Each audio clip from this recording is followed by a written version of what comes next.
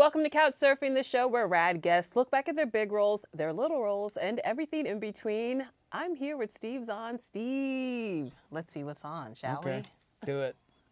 It's backwards.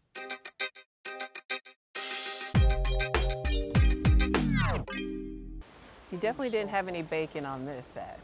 No. No. I lost 40 pounds for this. Oh, okay, so walk I meant the world. So you played a real life Vietnam POW, Yeah. and you fought hard for this role.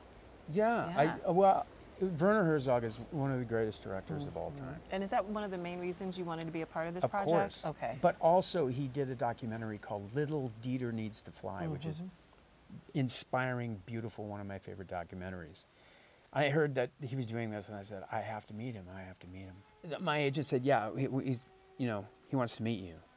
And then he called and said, I don't, don't, you know, Steve, don't come to my house. Don't come to my uh, office. Come to my house. Uh, And I was like, okay, great. He said, uh, Werner wants to know what you want to eat.